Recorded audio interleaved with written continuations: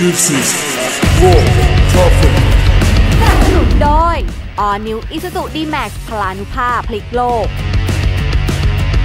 ปตท สารพลังสู่ความยั่งยืนพอเบรกเบนดิก w w w a u t o j a m t h a i l a n d c o m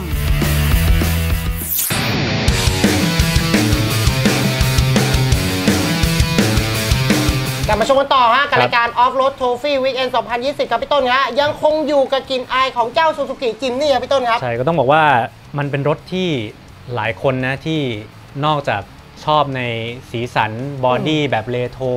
เป็นออฟโรด4คูณ4ที่มีความน่ารักย้อนยุค อ่า แต่อย่าลืมว่าอีกจุดหนึ่งของเขาเนี่ยขาลุยแบบโหดๆเนี่ยจิมนี่เนี่ยเขาก็ตอบสนองได้นะ อืม เพราะว่าหลายคนบอกว่าบนเส้นทางที่ Mercedes-Benz G-Class นะอืมหรือว่า Jeep Cherokee ไปได้อะทางอืมที่รถ 2 โมเดลนี้ไปไปได้น่ะอืมไอ้เจ้าจิมนี่เนี่ยเขาก็ไปถึงเหมือนกันแหละนะไปได้ไปได้เหมือนกัน ก็ไปได้เหมือนกันอะไปได้เหมือนกันเขาเรียกว่าตัวเล็กฮะแต่เท้าใหญ่ใช่เขาบอกว่ามันเป็นรถที่แม้จะมีความสวยงามนะ แต่ว่าความดิบมันก็มีครับนะครับแล้วก็มีความทรหดในฐานะออฟโรดแท้ๆอยู่ด้วยอืมนะครับจิมนี่เนี่ยต้องบอกว่าเป็นรถอเนกประสงค์ขับเคลื่อน4ล้อขนาด กระทัดรัดนะครับ อย่างที่บอกว่าตำนานของเขาในยบนโลกนี้กว่า 50 ปีมาแล้วอืม นะครับ แล้วก็ต้องบอกว่าทางซูซูกิเขาก็มีการวิจัยแล้วก็พัฒนาโมเดลนี้มาอย่างต่อเนื่อง อืม นะครับ แล้วก็ DNA ความแข็งแกร่งความทันสมัย เอกลักษณ์ในสไตล์ของซูซูกิเนี่ย ครับก็เขาเรียกว่าส่งผ่านมาใน Gen 4 ในโมเดลที่คุณผู้ชมกับคุณตูนเห็นอยู่ครับ นี่นะฮะ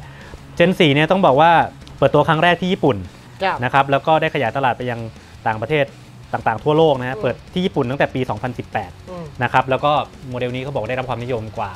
44 ประเทศทั่วโลกครับนะครับสำหรับความน่าสนใจของเขา แล้วก็เป็นความน่าสนใจที่เกิดขึ้นภายในระยะเวลาอันสั้นนะอืมหลังจากการเปิดตัวด้วย ในประเทศไทยเขาวาง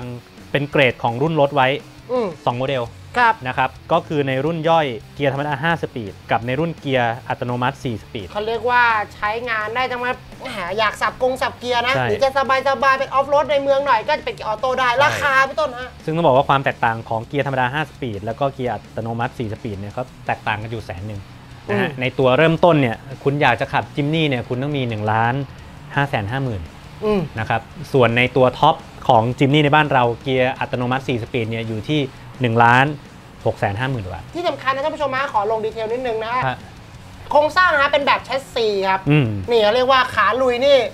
ตอบโจทย์เลยนะก็เป็นเฟรมเหล็ก อ่าเป็นเฟรมเหล็กที่ขึ้นโครงรถมาเพื่อรับงานลุยโดยเฉพาะครับผม นะครับแล้วก็อย่างที่บอกว่าดีไซน์ที่โดดเด่นสะดุดตาเนี่ยแต่ว่ามันแฝงไปด้วยความแข็งแกร่งจากภายในอืม นะฮะความแข็งแกร่งที่มีความยืดหยุ่นได้ในแบบออฟโรดด้วย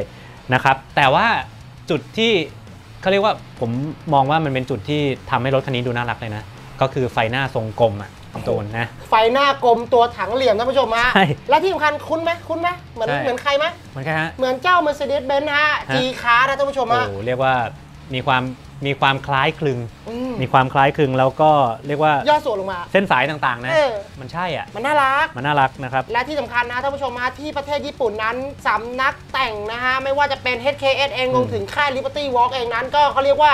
ส่งชุดแต่งฮะรวมถึงชุดอัปเกรด performance ฮะครับโหพี่ต้นไม่ต้องอะไรเลยนะ อืม แค่ดูตามเว็บไซต์นะอืมเข้าไปปุ๊บกดคลิกครับท่านผู้ชมฮะครับได้ทั้งคันนะท่านผู้ชมทั้งคันโอ้ผมบอกเลยฮะ ของเล่นของแต่งนี่มันเหมือนเป็นฮ็อบบี้ขาแล้วอืมสามารถเริ่มแบบซื้อรถเป็นชุดคิดไงอืมซื้อโมเดลหนึ่งต่อหนึ่งมา อืม กดปุ๊บฮะคุณจะได้รถที่เป็นเอกลักษณ์ของคุณเองเลยครับ อืมก็ถือว่าไม่ธรรมดาสำหรับครับในแนวทางการตกแต่ง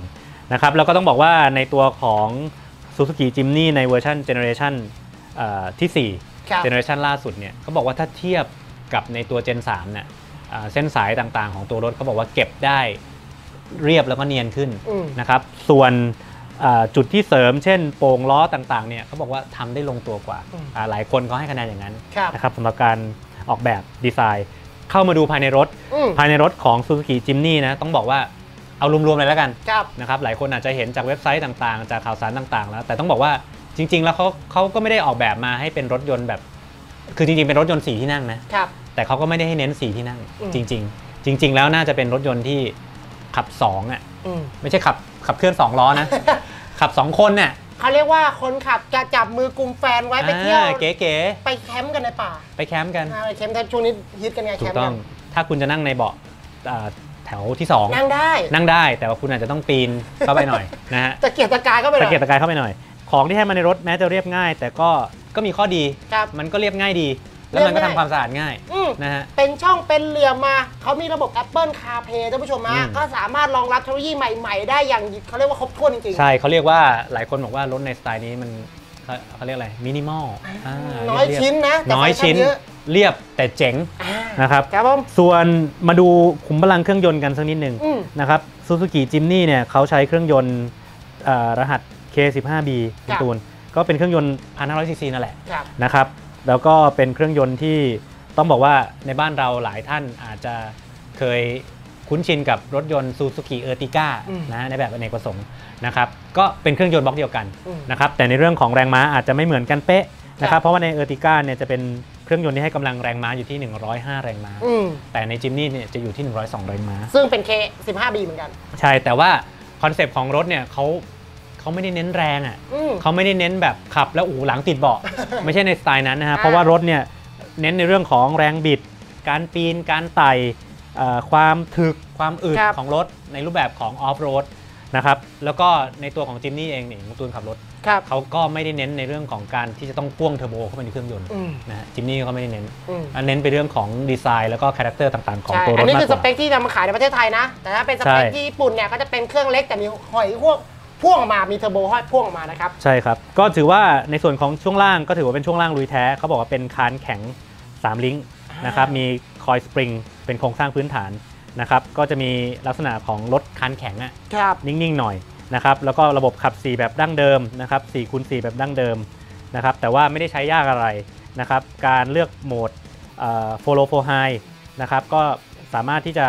กดปุ่มเลือกแล้วก็ ขับไปได้เลย คุณก็ลุยเส้นทางทุรกันดารอะไรต่างๆ ได้ ง่ายๆฮะคุณไม่ต้องใช้ skill ออฟโรดอะไรมากมายต้องนั่งเข้าเกียร์ฟงเกียร์ฝาไม่ต้องฮะไม่ต้องนะฮะก็ต้องบอกว่าเอ่อสำหรับในบ้านเรานะ การครับตลาดของซูซูกิเนี่ยเขาก็บอกว่ารุ่นเนี้ยหลายคนบอกว่าเอ๊ะเขาจะขายใคร จริง ๆ แล้วเขาก็มีคำตอบว่าเขาทำขึ้นมาเพื่อตอบสนองความต้องการของคนที่ชื่นชอบรถในประเภทขับเคลื่อนสี่ล้อครับในสไตล์แบบชิคๆคูลๆอ่าคูลครับๆนะครับแล้วก็ถือว่าเป็นรถที่เขา นำมาเพื่อตอบสนองตรงนี้นะฮะครับแล้วก็ต้องบอกว่าปรากฏการณ์ยอดขายยอดจองอะไรต่างๆ ที่แป๊บเดียว ตามโควต้าเนี่ยก็ถือว่าก็ตอบโจทย์ตรงโจทย์เขาแหละก็เป็นเรื่องราวของ Suzuki Jimny นะที่ผมแล้วก็คุณตูนนำมาฝากคุณผู้ชมครับ ในอ่าสัปดาห์นี้นะครับในช่วงหน้า ครับผม คุณผู้ชมครับ คุณตูนครับ ผมมีเรื่องราวของโอ้โหต้องบอกว่ายักษ์ใหญ่ แห่งแดนมังกรดินแดนมังกร อืมก็คือ Great Wall Motor ครับ เขาบอกว่าเป็นยักษ์ใหญ่ ในตลาดรถยนต์นะ ครับ ทั่วโลกแต่ว่าเป็นน้องใหม่ในบ้านเรา ซึ่ง Great Wall Motor นะฮะจะเข้ามาสร้างสีสันอะไรในบ้านเรา รวมถึงโมเดลรถที่คาดว่าจะเปิดตัวในตลาดรถยนต์บ้านเรา มีอะไรบ้างเดี๋ยวช่วงหน้านะฮะพักกันสักครู่เดียวครับ This is Raw Topic.